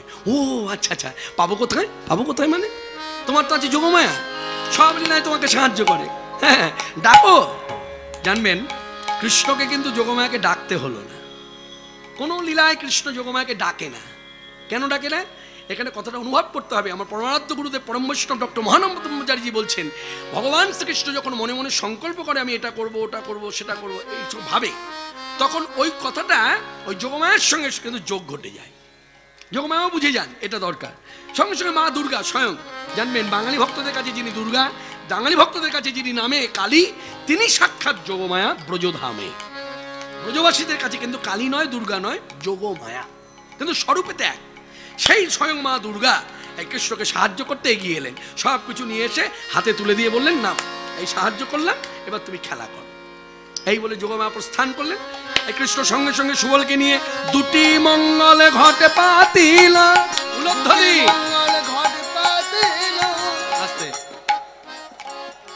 প্রশ্ন জাগে না মায়েদের? মাতৃকুল আমি দূর থেকে প্রশ্ন করছি। প্রশ্ন জাগে না? যে আপনি কীর্তনে নয় নয় করে অনেকবার বললেন উলোধ্বনি করুন হরি হরিধ্বনি করুন। কেন? অর্থটা কি? মানে কীর্তনটা যেন জমে যায়? না। কীর্তন জমাবার জন্য নয়। মন দিয়ে বুঝুন। আচ্ছা বাড়িতে বৃহস্পতিবারে নিজে না হোক, মেয়েকে দিয়ে ঘট বসান তো? হ্যাঁ হ্যাঁ হ্যাঁ বসাই লক্ষ্মী ঘট আচ্ছা লক্ষ্মী ঘট যখন বসান, তখন পাশের বাড়ি থেকে লোক না আসুক। পাশের বাড়ি থেকে কোনো দিদি ছুটে না আসুক। নিজেও উলোধ্বনি দিয়ে বসান? বলে হ্যাঁ। তাহলে এখানে মঙ্গল ঘট একটা নয় দুটো বসল। একটু উলোধ্বনি দেওয়া দরকার না? এই কারণে বলেছি উলোধ্বনি করুন দুটি মঙ্গল ঘট পাতিল। দুটি মঙ্গল ঘট পাতিল। ঘটের উপর আম্র পল্লবে দিল তাকে সিঁদুরের শীতকায়া কিল ঘটের উপর আমরা পল্লব দেখো দুটি মঙ্গল। ঘট পাতিল। এই দুটি মঙ্গল ঘট পেতে বসে বসিয়ে দিয়ে সুবলকে বলছে সুমল দান ঘাট তো সাজানো হলো। এবার আমার সাজ। আমি কীভাবে সাজবো? শোনো, তোমার দোষ প্রথমেই হচ্ছে তোমার এই যে মাথায় চূড়া, ধরা, এগুলো খুলে দিতে হবে। কারণ যে কর চায়, তার মাথায় চূড়া থাকে না, ধরা থাকে না। এই তোমার দেশে একটা ওড়না বাঁধা আছে না? আবার বাসি গুজে রেখেছো? এগুলো দূরে সরিয়ে দাও। কৃষ্ণ সুবলের কথা মতো চূড়া, মালা সব খুলে দূরে রেখেছি। সুবল, আর কি দোষ আছে আমার দেখে এবার দোষ দেখছি, তোমার চরণে একজনা নুপুর আছে। যে করচাটা সে কখনো নেচে নেচে কর চায় না। দাপাদাপি করে কর চায় না। এক জায়গায় দাঁড়িয়ে থেকে কর চায় অত নুপুরের প্রয়োজন নেই, খুলে দাও। এই নুপুর খুলে দিল। মানে এগুলো না খুললে তুমি ধরা পড়ে যাবে। আর এক কাজ করো, তোমার বর্ণ তো কালো, এই ব্রজের ধুলা কিছু গায়ে মেখে নাও। কারণ অঙ্গের বর্ণ তো ধরা পড়ে যাবে। আস্তে। দেখুন কীরকম বলছিস, কীরকম বন্ধু হ্যাঁ? বলছে, শোনো, এই কালো বরণটা ঢেকে দাও হ্যাঁ? ব্রজের ধুলা গায়ে মেখে নাও হ্যাঁ? সাদা হয়ে গেলে, এবার দাঁড়াও। আর শোনো, এই তোমার মুখের হাসিটা কাল হয়ে দাঁড়াবে, অতএব হাসবে না। কপটতা রেখে দান চাইবে। সুমন কি করব? কপটতা কপটতা একটু গম্ভীরভাবে। কেন বৃন্দাবনে তোমারও জন্ম? যারা এই পথে আসবে, তাদেরও জন্ম বৃন্দাবনে। অর্থাৎ পরিচিত মুখ, পরিচিত মুখের কাছে কর চাইতে গেলে একটু গম্ভীরভাবেই চাইতে হয়, কর দিন। হ্যাঁ পারবে? হ্যাঁ পারব। এই দেখ সময় এই যে হ্যাঁ এই ভাবটা রাখতে হবে। ঠিক আছে? আচ্ছা সুবল দান ঘাট সাজালি, দানি সাজালি। ভাব দেখিয়ে দিলে সবই হলো। কিন্তু যার জন্য সাজ, সে তো জানলো না। তো কি করব? কি করব মানে? বুঝতে পারছিস না কি বলছি? মানে সে তো জানলো না। অতএব তুই তার বাড়িতে যা, গিয়ে জানি আর কোন বাড়ি? ওই যে আমার দিদি যে বাড়িতে থাকে মানে শ্বশুর বাড়ি। ওই শ্বশুর বাড়ির কথা, তাহলে শোন, ওই শ্বশুর বাড়িতে আমি আর কখনো যাব না। বলে কেন? ওই বাড়িতে দুটো মহি, মেয়ে লোক আছে। দুজনেই বিধবা। না না, বৃদ্ধা মায়ের কথা আমি দোষ ধরি না। মাতৃতুল্য মেনে নেওয়া যায়। কিন্তু ওই অল্প বয়সের বিধবা মেয়েটি। উড়ি বাপরে বাবা আমায় দেখলেই প্রশ্ন। প্রশ্ন, যেমন তেমন প্রশ্ন। সুবল কখন এলি? কখন যাবি? কখন এলি? কখন যাবি? কেন এলি? কখন যাবি? কে সহ্য করবে? অন্যভাবে নেবেন না মায়েরা। ঝগড়ুটি, হিংসুটি যারা হয় তারা এইভাবেই কথা বলে। মাথা দুলিয়ে দুলিয়ে বলে। কখন এলি? কোথায় যাবি? কেন যাবি? কখন এলি? কখন যাবি? কেন এলি? কত প্রশ্নের উত্তর দেবো? আমার দিদির বাড়ি আমি যেতে পারব না। হ্যাঁ তাই ভেবেছি ওই বাড়ি আর যাব বলে সুবল, তুই যদি না যাস, তাহলে আজকে যে আমি ধান ঘাটে দানি সেজেছি, সে জানবে কি করে? তখন সুবল বলছে, কেন? তোর কাছে তো একটা যন্ত্র আছে। যে যন্ত্রখানি হাত থেকে একটু দূরে রেখেছিস, ওই যন্ত্র হাতে নে বাজিয়ে দে। তখন সংকেত জানা যেতে জানা যেতে।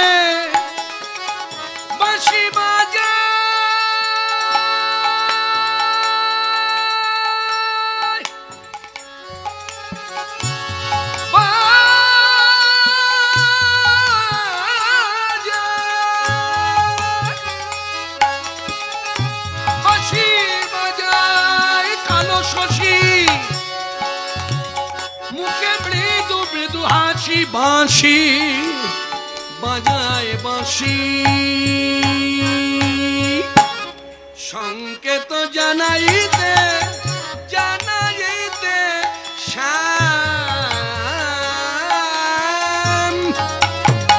মোহন মুরলী হাতে অধরে ধরিয়া মৃদুবা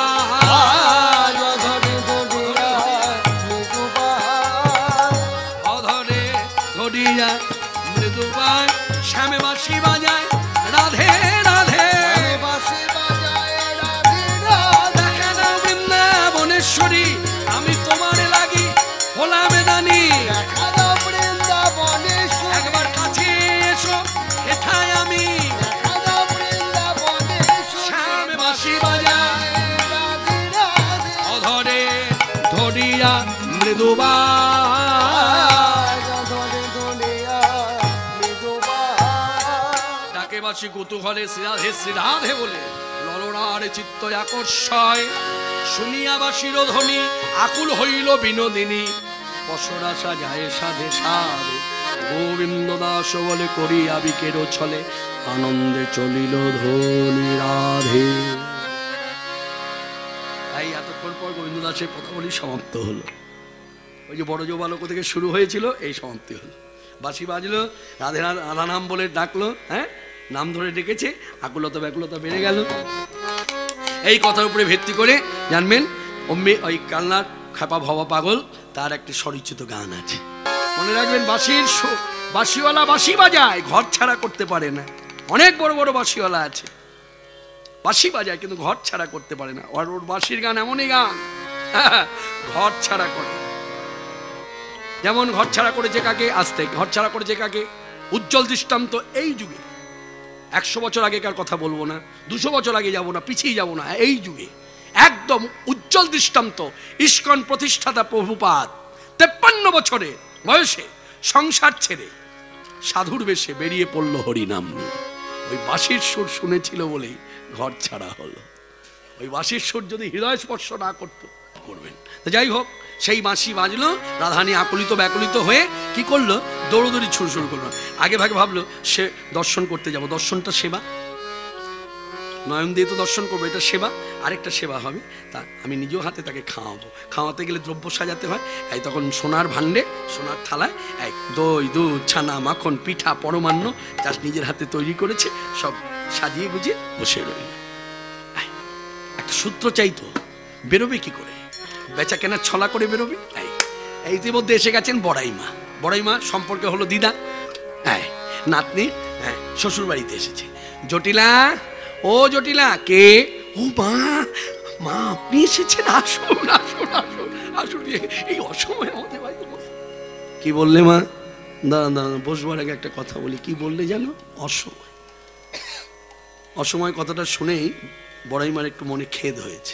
প্রত্যুত্তরে বলছে হ্যাঁ গো আমি যদি অসময়ে এসে থাকি তাহলে আমিও তোমায় প্রশ্ন করতে পারি। তুমি জাতি দেখি। বলে কেন গোয়ালা? তাহলে গোয়ালা জাতি। আবার বলছো অসময়। তা গোয়ালা জাতি তোমরা কেমন গোয়ালা জাতি? দই দুধ ছানা মাকড় সব সাজিয়ে রেখেছো? হাটে পাঠাও নি বেচা কেনা করতে। বলে কি পলা পচয়ে। কেমন গোয়ালার মেয়ে? হাটে না পাঠায়। কেমন গলার মেয়ে?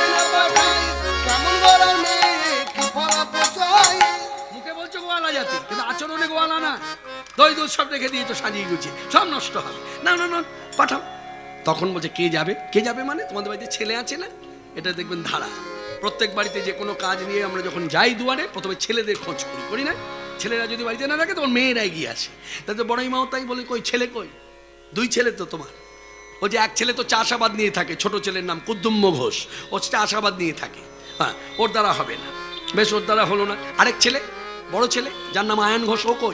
বলছে, ও, ওকে নিয়ে হাটে যেও না। বলে, কেন? বলে, দেখো, বাণিজ্য করতে গেলে দশটা বিশটা কথা বলতেই হবে। দশ বিশ কথা খরচ না করলে বাণিজ্য হয় না। হ্যাঁ বেচা কেনা করতে বসে কেউ যদি এসে জিজ্ঞাসা করে, দই কত? দুধ কত?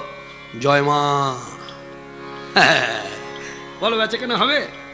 তখন সে ওখানে বসে বসে ধ্যান করছে, মা মা মা মা। প্রশ্ন করছে, দই কত? আর বলছে, জয় মা। আপনারাও জানেন, এখনও যারা বৃন্দাবনে ঘুরে এসেছেন, তারা সাক্ষী। ব্রজবাসীরাই অঙ্গুলি হেলিয়ে দেখিয়ে দিয়েছে। এই দেখুন, এই অন্ধকার কুটিরের ভেতরে যে প্রদীপ প্রজ্বলিত হয়ে আছে, আর এই যে মায়ের একটা আলেখ্য দেখছেন? আলেখ্য মানে ছবি যাকে বলি। এটা বৈষ্ণবীয় একটা শিক্ষামূলক ভাষা প্রচার আছে। আলেখ্য বলতে হয়, ছবি নয়। ছবি হয় মানুষের। ছবি কখনো ভগবানের হয় না। আলেখ্য। এই যে একটা চিত্রপট দেখছেন? এই যে মা, এই ঘরের ভেতরে আয়নের এত সাধনার বল। এত স্বচ্ছতা, এত নির্মল। স্বয়ং মা কালী এই ঘরে এসে দর্শন দিয়েছেন হরে কৃষ্ণ। এখনও এখনও ব্রজবাসীরা অঙ্গুলি হেলিয়ে বলে, কথাটা খুব খাঁটি কথা। তাহলে কি দাঁড়াল? দুই ছেলে এক ছেলের দ্বারাও হাতে বেচা কেনা করতে যাওয়া হবে না। হলো? আচ্ছা ঠিক আছে, তোমার মেয়েকে দাও। যেই মেয়ের কথা বলছে, বিলক্ষণ, মুখে এনো না। ও আমার পেটের মেয়ে। হ্যাঁ আমি ওর মা। তবু বলছি, ঝগড়ুটি, হিংসুটি, ও যদি হাটে যায় নিজের বেচাকেনা তো নষ্ট হবেই, তার সঙ্গে দশের বেচাকেনাও নষ্ট করে। মানে গোটা হাতটাই নষ্ট হয়ে যাবে। অত ওর মন নাম মুখে ওকে নিয়ে যাওয়া যাবেই। তাহলে কে যাবে? কে যাবে? একমাত্র পথ দেখছি তোমার ঘরে বৌমা আছে না? বৌমা? তো ছোট্ট, বয়সে। হ্যাঁ হ্যাঁ আমার নাতনি, যার নাম রাধা। তুমি যদি একবার অনুমতি দাও, নাতিনীদের সঙ্গে করি, যাব মথুরায়। সবে কিছু বিকাইব, যাইয়া তথায়। দেখো তো আমার চেয়েছে বলে দাও আমায় দাও আমি একবার নিয়ে যাই। তখন পাশ থেকে অনুগত যারা তারা ভাবছে হ্যাঁ গো বনাই তোমার উদ্দেশ্যটা কি? ওই দই দুধ ছানা মাখন বিকিকিনি করতে গিয়ে আমাদের রাধানীকে বিকি দেবে নাকি গোবিন্দ পাদ পদ্মে? বলে মনে জানে আর আমি জানি। মনে জানে আর আমি জানি। মনে জানে আর আমি জানি। মনে জানে আর আমি জানি। জানে অন্তরে জামি যারা হবে পথের অনুগামী। জানে বলে মনে জানে না আমি জানি। কিছু বিকাইব যাইয়া তথায়, দেহ তো আমায়। যেই চেয়েছে দাও। এই জটিলা তখন বলে দিল, যাও ভেতর ঘরে যাও, বৌমা বসে আছে, যাও। হ্যাঁ হ্যাঁ তবে একটু দেখে শুনে নিয়ে যেও, শোনো, একটু দেখে শুনে নিয়ে যেও। এইদিকে, বাবা। দেখে শুনে নিয়ে যেও। হ্যাঁ ওই পথে যেন কোনো বিপদ না হয়, বুঝলে? বিপদ বলতে কি? কি বিপদ? ওই কেলেছ না হ্যাঁ। হ্যাঁ ওর সঙ্গে যেন দেখা না হয়। বড়ই বলছে কোনো চিন্তা করো না আমি যাচ্ছি কোনো ভয় নাই। এই বলে ভেতর ঘরে গিয়ে নাতনির গায়ে হাতি বলছে নাতনি কে? বড়াই এলি মা এলি শুধু শোন এসেছি তা নয় এইদিকে এসেছি তা নয় পথ পরিষ্কার করে এসেছি আদেশ নিয়ে এসেছি এবার তলা করে চল মাথায় তোল। এই তখন ললিতা বিশাখার সাথে চলিয়া যাইতে পথে। সাথে ধনী কত সাদে বাড়াইল পা ধনী কত সাথে বাড়াইল পা। তার ভাবসার কেশোভা উতলিল ভাবে সারি আড়াইল না না চলিতে না পারে আর গা। চলিতে না পারে আর গা। একটা গ্রাম ছেড়ে যে আরেকটা গ্রাম পা দেবে সেই গ্রামে যাবার আর ক্ষমতা নেই। তার আগেই ঢলে ঢলে পড়ে যাচ্ছে। আহা ভাবে ভাবিত অঙ্গ। ভাব এসে গেছে। আবার দেখা যাচ্ছে চোখে জলও এসেছে। বলে কেন? দর্শনে যাচ্ছে, পাবে বলে পাবেই। তারপরও কান্নাকাটি কেন? বলছে, শোনো, আকুলতা ব্যাকুলতা এত বেড়েছে যেন মনে হচ্ছে আমার এক্ষুনি প্রয়োজন। এখানে সুন্দর একটি শ্রীমুখের কথা চৈতন্য চরিতামৃত কবিরাজ গোস্বাইপাদ তুলে ধরেছেন। আহা ভগবান চৈতন্যদেব পরবর্তীকালে রাধা বিভাবিত তনু শ্রীমুখে বলছেন রাধাহানি শ্রীমুখের উক্তি। যে সখীরে, সে নয়নে কিবা কাজ পড়ুক তার মুন্ডে বাজ, সেই নয়ন রহে অকারণ। অর্থাৎ, যে নয়নে আমার কৃষ্ণ দর্শন হয় না হ্যাঁ সে নয়ন দিয়ে আমার কি হবে? আমরা ভাবছি কি? বাজ বাজ মানে বাজ পিষ্ট মানে বাজ পড়ুক। না এ বাজ সে বাজ নয় মনে রাখবেন। আমার বয়স সীমা যখন তেইশ বছর আমি তো সব কথা খুলেই বলি তাই এই কথাটাও খুলে বলতে আমার কোনো দ্বিধা নাই বরঞ্চ গর্ব হয়। আমার গুরুদেব যদি এই কৃপা না করতেন আজ পর্যন্ত আমি বোধ এই অর্থ জানতে পারতাম না। আমার গুরুদেব আমায় ডেকে বলছে শোন এই জায়গাটা সভাতে দাঁড়িয়ে সবার মাঝে বলিস? বলে, হ্যাঁ বলি। তখন তোর কি অনুভব হয়? এই বাজ কথাটা নিয়ে তোর কি ভাবনা? মানে বাজ কথা মানে বাজ পিষ্ট মানে বাজ পিষ্ট হয়ে আমি মারা যাই, তা আমার কি হবে দর্শন? যখন হচ্ছে না এই রকম একটা ভাব। বলছে, না, বাজ মানে বাজ পিষ্ট নয়। ভালো করে মন দিয়ে শোন কৃষ্ণ। খুব প্রাচীনকালের কথা। তখন এত এইরকম ঘর বাড়ি লাগোয়া সব ছিল না। এখানে একটা ঘর থাকলে ওই দশ হাত দূরে আরেকটা ঘর। আবার ওই দূরে একটা ঘর ফাঁকা ফাঁকা। আর আকাশে অত ওই প্লেন আসা যাওয়া করতো না। তখন আকাশে কি উড়ে বেড়াতো জানিস? বাজ পাখি। আর বাজ পাখি সহজেই নেমে আসতে পারে, আবার চটজলদি উঠেও যেতে পারে উপরে। জানিস তো?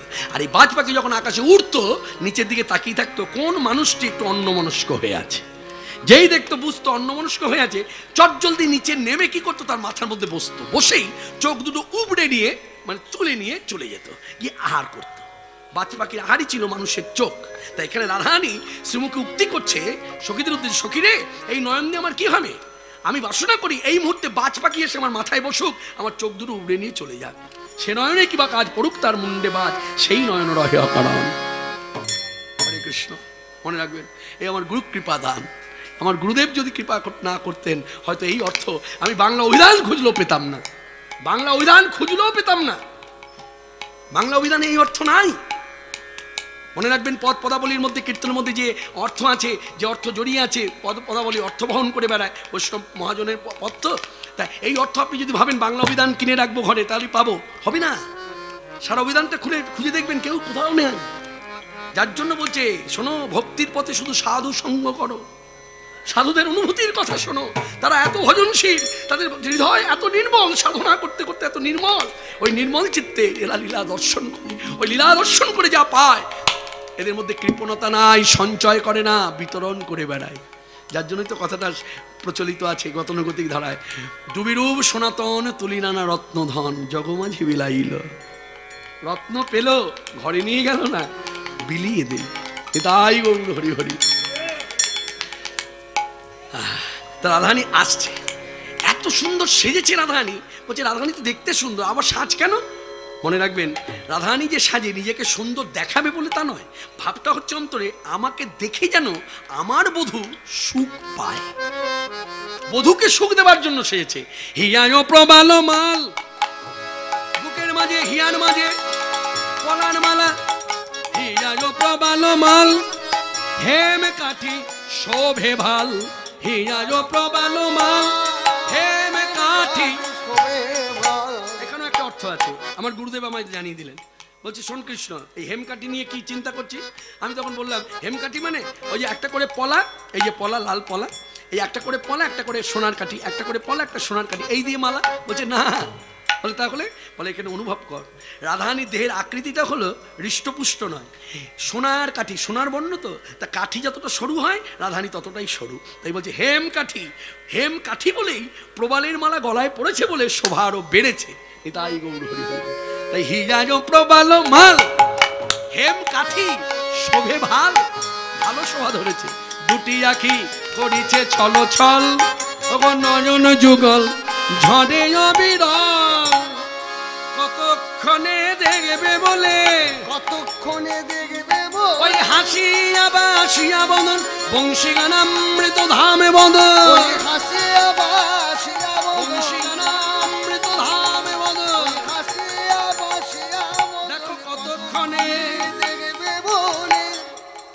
দুটি আঁকি করিছে চল চল অঝরে কাঁদছে। এই কাঁদছে যখন, এদিকে গোবিন্দ আমার দানি বেশে দান ঘাটে দাঁড়িয়ে অপেক্ষা করছে। অপেক্ষা মান এই দাঁড়িয়ে আছে। দেখছে, আসছে। এখন রাধানীকে দেখে এতটাই এতটাই ভুলে গেছে নিজের কাজ। কর চাইতে হবে, ভুলে গেছে। না, রাধানী, একটা রাধানীকে আখ্যা দেওয়া হয়েছে। সাধুগুরু বৈষ্ণব মহাত্মান তারা শ্রীমুখে আখ্যা দিয়েছেন। ব্রজ থেকেই পেয়েছে আখ্যাটা। ব্রজবাসীরাও দিয়েছে আখ্যা। কি আখ্যা? না মদন মোহনের মন মোহিনী গোবিন্দ কামদেবের মনকে চুরি করে রূপের দ্বারা আকর্ষণ করে নাম ধরেছিল মদন মোহন আবার সেই মদন মোহন যার রূপে মোহিত হয়ে নিজের কাজ ভুলে যায়। তিনি হলেন মদন মোহনের মন মোহিনী আমাদের ব্রজেশ্বরী রাধা ঠাকুরানী। সবাই বলুন জয় রাধে। রাধে। জয় রাধে। জয় রাধে। জয় রাধে। রাধে।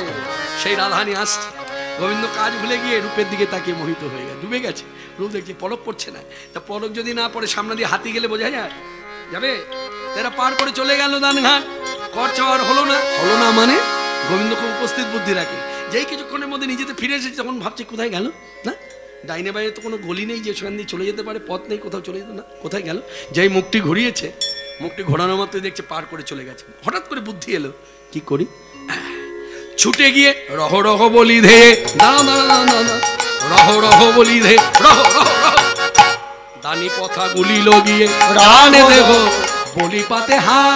আজ দানে দেহ বলি পাতে ঘাট। এই তোমরা আমায় দান দাও হে তোমরা আমায় দানে দাও। তোমরা আমায় দান দাও হে তোমরা আমায় দানে দাও আমি এই পথের দানি নইলে যেতে দেব না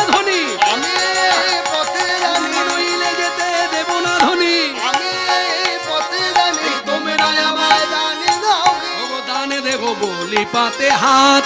ও দানে দেহ বলি পাতে হাত।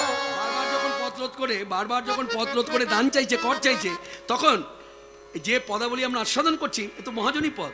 পদকর্তা তখন সখীভাবে এক পাশে দাঁড়িয়ে তিনি বলছেন দ্বিজ মাধবের বাণী।